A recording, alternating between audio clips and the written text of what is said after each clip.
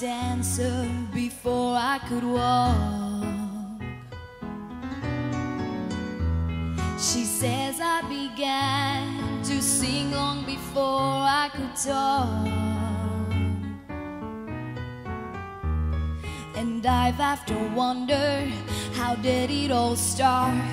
Who